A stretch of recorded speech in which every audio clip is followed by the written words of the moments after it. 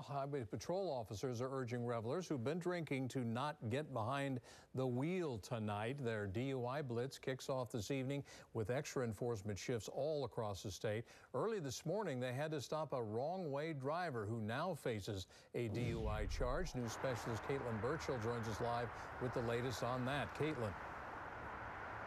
Thanks, Keith. About 13 miles.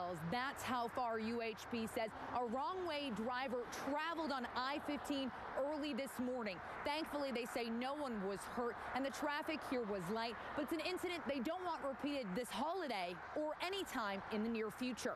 Let's check out this video. It is terrifying to watch. It's firsthand dash cam video from UHP's cruiser. You can see this driver go, flying right by them, not even noticing the police officers trying to stop them. Eventually, they do stop them, stop this driver. UHP says they responded to a report of a wrong way driver traveling south on I-15 north at about 4th south around 3.30 this morning. We're told they tried pulling over the driver multiple times, but weren't able to until 114th south.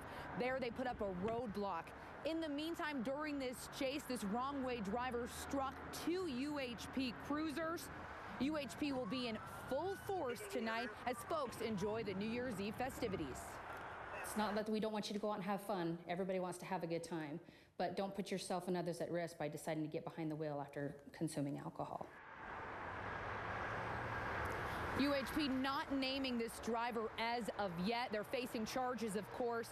UHP says they have seen an uptick of wrong way driving cases throughout this past year. UDOT says they respond, they hear of about one or two cases a week. An incredible number. It's terrifying.